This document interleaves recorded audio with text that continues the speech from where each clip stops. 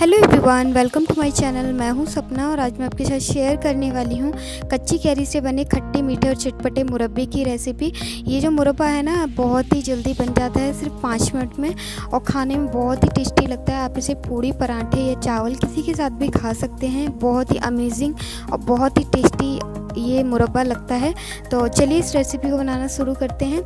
मैंने यहाँ पर एक किलो इस तरीके से अमियाँ ले ली हैं। ये जो अमियाँ हैं ना, ये छोटी वाली, जो गोल वाली अमियाँ होती है ना, वो वाली अमियाँ हैं ये।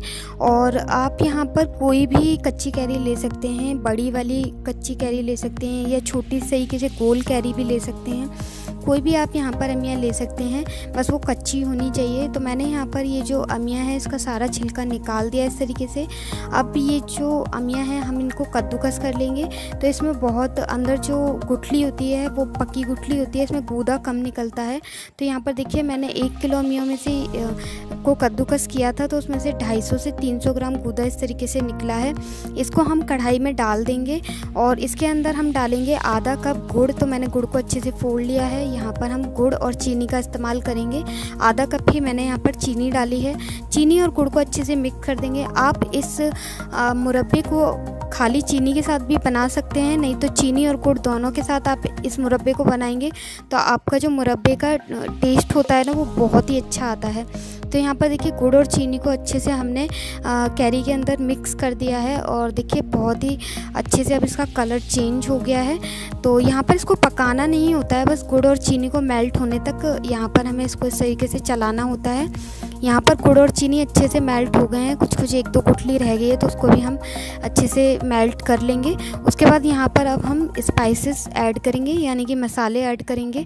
तो यहाँ पर हम सबसे पहले डालेंगे एक बड़ा चम्मच भुना हुआ जीरा। आप इस इसमें ये जो मसाले हैं, ये ज़रूर डालिएगा। एक चम्मच मैंने यहाँ पर लाल मिर्च डाली है।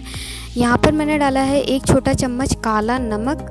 नमक आप अपने टेस्ट के अकॉर्डिंग डालिएगा।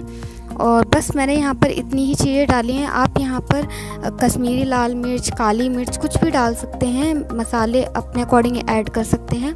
लेकिन आप अगर इसमें सिर्फ़ यही मसाले डालेंगे ना तो आपका जो मुरब्बा है वो बहुत ही टेस्टी बनेगा। तो मसालों के साथ हमने इस मुरब्बे को अच्छे से मिक्स कर लिया है। और देखिए, बस पाँच मिनट में ये जो मुरब्बा है ना, बनकर तैयार हो जाता है। इसको पकाने वकाने का कोई टेंशन नहीं है, क्योंकि हमने इसमें पानी नहीं डाला है तो इसलिए इसको पकाना नहीं होता है। सिर्फ़ चीनी और गुड़ को मेल्ट करने तक पकाना होता है। बस और बस मसाले इसमें ऐड कीजिए। आपका ये जो मुरब्बा है, वो बनकर तैयार हो जाता है पाँच मिनट के अंदर। तो गाइस कैसी लगी आपको आज की मेरी रेसिपी अच्छी लगी है तो एक लाइक कीजिएगा सब्सक्राइब कीजिएगा मेरे चैनल को। अगर आप मेरे चैनल पर नए हैं प्लीज़ प्लीज़ सब्सक्राइब कीजिएगा। तो चलिए मिलती हूँ अगली वीडियो के